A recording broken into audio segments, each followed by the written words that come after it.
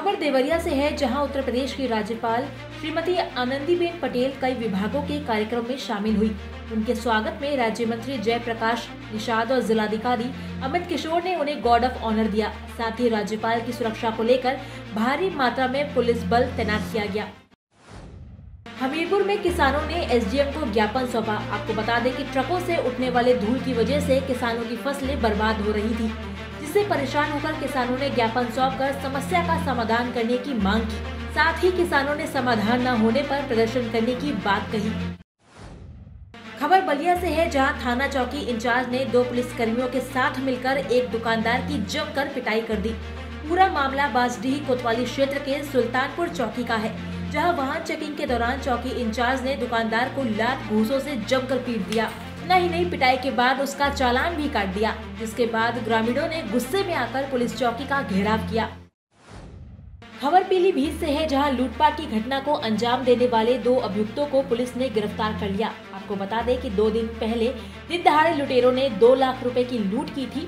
मुखबिर की सूचना के बाद मौके पर पहुँची पुलिस ने कार्रवाई करते हुए दो अभियुक्तों को गिरफ़्तार कर लिया। साथ ही उनके पास से दो अवैध तमंचे, कारतूस समेत नकदी बरामद किए। खबर अमेठी से है, जहाँ डीएम अरुण कुमार ने कादू नाला थौरी मार्ग पर बन रहे रेलवे अंडरपास का निरीक्षण किया। सड़क की मरम्मत को लेकर डीएम ने अधिकारियों को निर्देश दिए।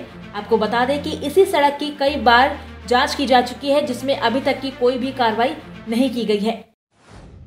खबर बांदा से है, जहाँ पंचायत चुनाव को लेकर एडीजी ने अधिकारियों के साथ बैठक की। इस दौरान एडीजी प्रयागराज जोन ने पुलिस अधीक्षक की कार्यशाली की सराहना की। बैठक के दौरान एडीजी ने अपराध और अपराधियों से संबंधित सवालों का जवाब नहीं दिया।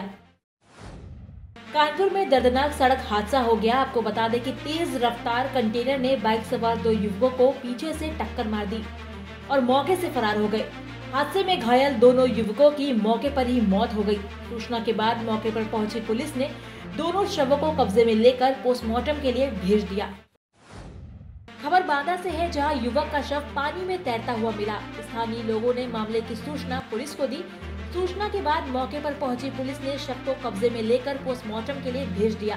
साथ ही पुलिस ने शव की शिनाख्त करनी शुरू कर दी है। खबर फरुखाबाद से है जहाँ मेला थाना प्रभारी की लापरवाही सामने आई है। आपको बता दें कि बरेली हाईवे पर बने गंगा पुल पर भारी जाम देखने को मिला। जाम के चलते लोगों को काफ़ी परेशानियों से जूझना पड़ा। परेशान लोगों ने जाम का वीडियो बनाकर सोशल मीडिया पर वायरल कर दिया। खबर फरुखाबाद से है, जहाँ जमीनी विवाद के चलते दबंगों ने घर में घुसकर युवक की जमकर पिटाई कर दी। मामला थाना राजेपुर क्षेत्र का है। पिटाई से घायल युवक को परिजनों ने सीएचसी में भर्ती कराया, साथ ही मामले में पुलिस को तहरीर दे दी।